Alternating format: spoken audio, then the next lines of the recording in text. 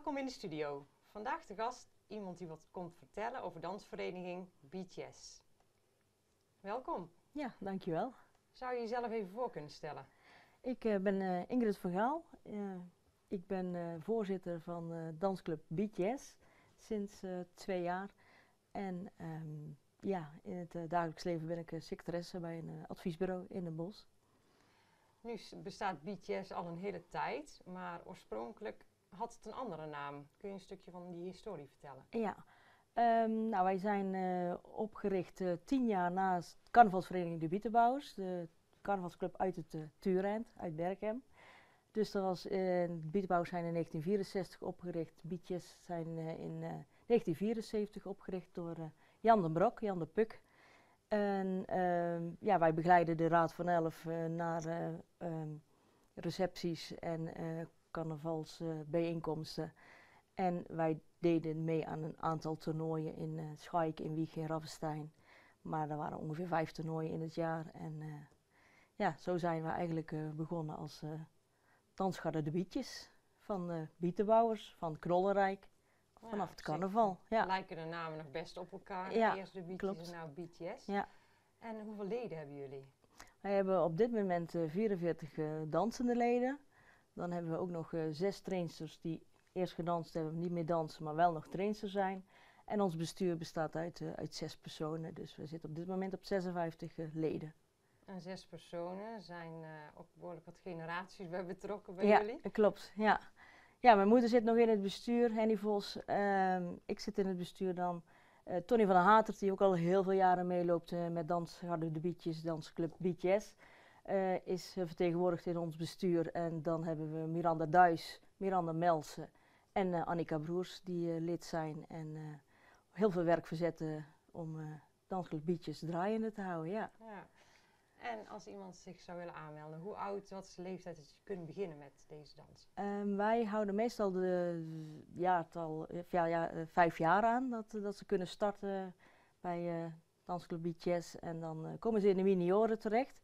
Dat is tot en met acht jaar. Dan kunnen ze door naar de junioren. Hebben we nog jeugdklassen. Dat is van 12 tot en met 15. En de hoofdklasse is van vanaf 16 jaar. En dat dansen dus uh, in Nederland, uh, ik denk tot 30 plus minus nog mee. Maar als je in Duitsland gaat kijken, dan heb je inderdaad ook nog die nog ouder zijn die al deel, nog steeds deelnemen aan, aan toernooien en wedstrijden. Ja. ja. En dansen zij in groepen of zijn het echt solo dansen? Ja, we hebben solodans in de gardedans en we hebben showdans dan. Gardedans is uh, het van de dansmariekes dan uh, eigenlijk uh, afkomstig. Nu dan in sportverband op dit moment. hebben we dus de groepen, de solo's en de paren in. In de showdans hebben we de solo's, duo's en ook groepen. Dus er zijn meerdere disciplines waarin je deel kan nemen. Ja. En verzorgen jullie ook echt optredens? Ja, wij, uh, ja, wij de, nemen deel aan, uh, aan de pronkzitting van, uh, van de, knol, ja, de stichting Carnaval Bergen. Ja. En wij verzorgen ook optredens voor gehandicapten, voor bejaarden als daar een verzoek toe gedaan wordt. Ehm, ja, wij willen graag een maatschappelijke bijdrage leveren ieder jaar. Daarom collecteren wij ook voor de Anjar-actie, ieder jaar in juni. En ja, dus wij doen ook inderdaad uh, optreden. En tijdens Natuurrense Zondagmergen, die uh, door uh, de Wietenbouwers georganiseerd wordt en door Dansclub Bietjes, een combinatie. daar verzorgen we ook onze optredens en doen we, ja, presenteren wij ons voor het Berghems publiek. Ja, dus niet alleen dans, maar ook nog heel betrokken, zeg maar, ja, bij ja, Berghem. dat proberen we wel, ja. Ja, um, nu zijn jullie ook buiten Berghem aan het dansen. Ja, klopt. Uh, wedstrijden dansen jullie ja, zelfs? Ja. ja, ons seizoen uh, loopt van uh, eind november tot begin mei. En dan hebben we ongeveer tien toernooien waaraan we deelnemen met ja, alle dansen die we dan hebben. Dat doen we voor de kwalificatie voor de Europese kampioenschappen. Die zijn in 2017 in, in België worden die gehouden. En nou ja, op ieder toernooi in Nederland kun je punten behalen en dan moet je tot de top 3 behoren om naar de Europese kampioenschappen te mogen. Voor die Europese kampioenschappen zitten nog de Nederlandse kampioenschappen. En um, ja, ook daar kun je je, je ticket uh, proberen te krijgen voor de EK. Dat is echt op hoog niveau dan. Ja, ja, het is gewoon echt een, een, een wedstrijd. een wedstrijdelement zit er aan vast, inderdaad. Zeker. Top, topniveau mag ik wel zeggen. Binnen twee minuten moeten ze echt wel een, een flinke prestatie leveren. En als ik het vergelijk met ja, toen ik nog danste, dat is 30 jaar geleden, ja, dan is het eigenlijk niet meer te vergelijken wat ze op dit moment en nu nog moeten laten zien. Dat is zoveel moeilijker geworden en de, de elementen die ze moeten doen zijn zoveel zwaarder. Dus uh, ze leveren echt een, een, een topprestatie, alle meiden. Ik heb ja. net een stukje gezien in mhm. de ja. school daar, zeg maar. Ja. En het zag er behoorlijk uh, moeilijk uit. Ja, het is, uh, ja het, is, het is niet eenvoudig, nee, klopt. En de lessen, door wie worden die gegeven? Um, nou, de meeste die hebben zelf uh, gedanst. Bij de Nederlandse Danssportorganisatie, de NDO, de Bond, kun je um, ja, eh, trainingen of uh, cursus, trainingscursus volgen. Dat hebben ze ook allemaal gedaan bij ons. Dus de meesten zijn eigenlijk actief geweest en daarna vullen ze eigenlijk ja, deze hobby nog in door trainster te zijn en ja, de meiden nog te leren en bij die club te blijven. Dus dat is wel heel mooi. Zo gaan er wel generaties, zoals we het net al over generaties hadden, er blijft dan toch in. En als je gaat kijken van, ja, hoeveel mensen, of ja, ja meiden van mijn leeftijd, die uh, wat dochters van dansen en, uh, en zo verder. Dus ja, dat is wel heel mooi uh, om te zien dat generatie op generatie dansclubietjes weer vertegenwoordigt. Ja. Dus ja, dat is heel mooi. zag ik ook dat jullie um, aparte kleren aandragen, kostuums voor de shows. Ja, klopt. Wie maakt die? Ja, uh, de karakterdans. We hebben nog verschillende dansen. Moderne dans, karakterdans, gardedans. Uh, als ik de groep even noem. Uh, de karakterdans wordt sinds enkele jaren wordt hulp ingeroepen van, van, van, van alle moeders.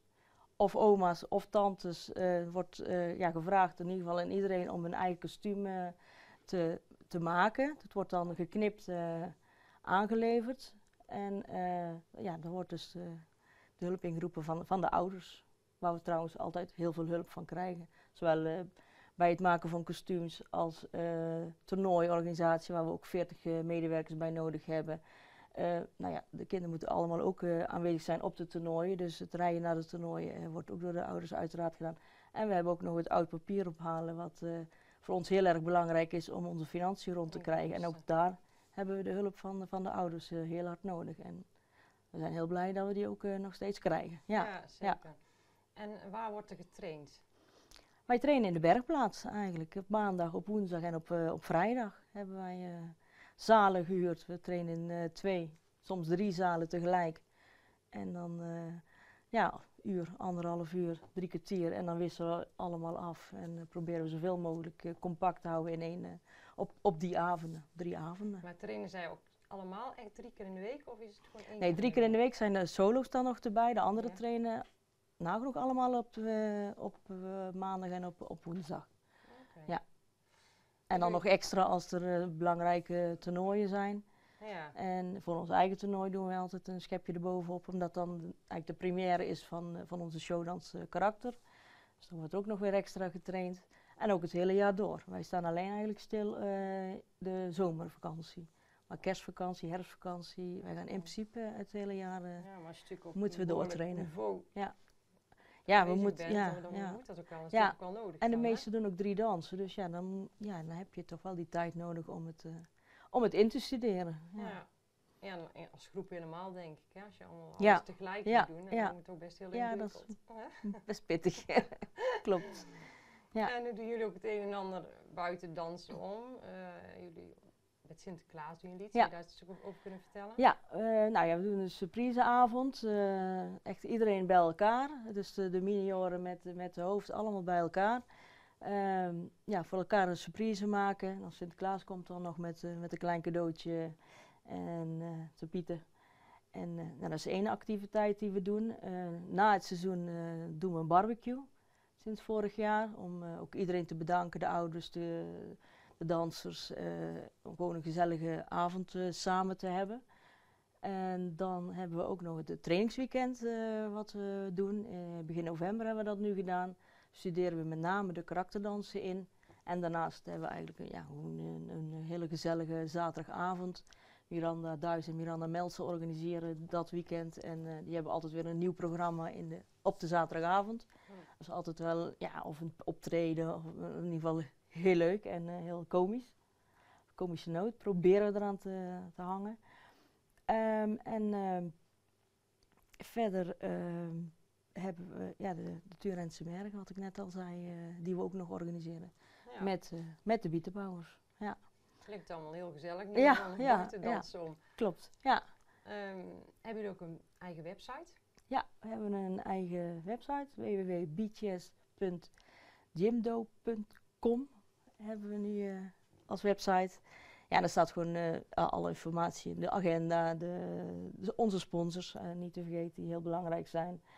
Een stukje geschiedenis, foto's, ja, dus, contacten. En de laatste nieuwtjes staan, er, staan erop. Als mensen informatie willen hebben, ja. kunnen ze in ieder geval op jullie website ja. kijken. En, en op ons Facebook-pagina staat, hebben we ook inderdaad waar de laatste nieuwtjes op staan. Af en toe resultaten vermeld worden, mensen opgeroepen worden om mee te, of te komen kijken naar het toernooi. Bijvoorbeeld op 8 januari, waar we ons 34e toernooi organiseren. En met 100 dansen. We beginnen om half tien, we eindigen om 8 uur. En dan hebben we 101 om precies te zijn, 101 dansen gehad. Met 337 deelnemers zijn dan actief. 60 ehm, begeleiders van uh, al die deelnemers. Nou, 40 medewerkers van ons die ik zojuist al noemde. En dan hopen we nog het dubbele aan bezoekers te hebben. Dus dan lopen er kleine duizend mensen die dag in de bergplaats rond. Ja. Dan hebben jullie nog nieuwe leden nodig? Ja, wij kunnen altijd nieuwe leden gebruiken in alle leeftijdscategorieën. En ja, dat is tussen wat ik net zei, vanaf vijf 5 tot en met 8. En de andere is weer van, van 9 tot en met 11 de junioren. Dan van 12 tot en met 15 is de jeugd. En vanaf 16 uh, de hoofdklasse. Ja. En als kinderen na het zien van het interview denken van nou, het lijkt me leuk, kunnen ze dan een keer vrijblijvend komen kijken? Altijd, uh, altijd welkom om te komen kijken. We trainen vanaf maandag en woensdag dan vanaf 6 uur. En ja, dan is iedereen altijd welkom om te komen kijken die interesse heeft om, om hem mee te doen. Ja, dan krijgen ze misschien een beetje een idee van wat het is. Inderdaad, ja. ja. Misschien een keertje mee op toernooi gaan kijken. Dan ja, heb je enig idee wat, wat het betekent en wat het inhoudt. Ja. Um, jij wilt het zelf ook nog ergens over hebben, begreep ik? Ja, ik wil graag, ja, ik zo noemde hem net al, de, Tuurentse Zondag Als de mensen niet in de gelegenheid zijn om 8 januari te komen kijken, dan is de 29 januari uh, de Turense Zondag Mergen. Uh, optredens van ook BTS, uh, eh, Boerenbruiloft, uh, Bruidspaar van 2017 wordt bekendgemaakt. Het is eigenlijk een voorproefje op carnaval. En ik heb begrepen dat vanuit het Turent, dus waar het eigenlijk oorspronkelijk allemaal begonnen is, een, een groep mensen bezig is om een, een happening, ik weet niet precies wat het is, maar iets te organiseren om tijdens de Turense Mergen te, te zijn. En de oproep wordt gedaan binnenkort ook naar eh, mensen uit de Turent die er op dit moment wonen, die er gewoond hebben, maar die er geboren en getogen zijn, om vooral ook naar, op 29 januari naar de bergplaats te komen en aanwezig te zijn op de Turentse Mergen. Ik weet niet precies wat er gaat gebeuren, maar er gaat iets gebeuren. Dat is dus, in ieder geval leuk. Dus andere werkhebbers mensen die nu nieuwsgierig worden, nou, bent van harte welkom. Vanaf 11 uur staat de koffie uh, klaar. Van 11 tot 12 gratis koffie en thee. Kijk. Dus ik zou zeggen, mensen komen allemaal uh, naar de bergplaats uh, 29 januari. Ja. En 8 januari natuurlijk. En 8 januari natuurlijk. Nou, ik wil jullie wel hartstikke bedanken voor het interview. Ja, heel veel succes wensen. Hopelijk komen er weer nieuwe leden bij. Hè, ja, het zou heel mooi zijn. Ja. En heel veel succes met de shows. Ja, dankjewel. En ik bedank jullie voor het kijken. En tot de volgende keer.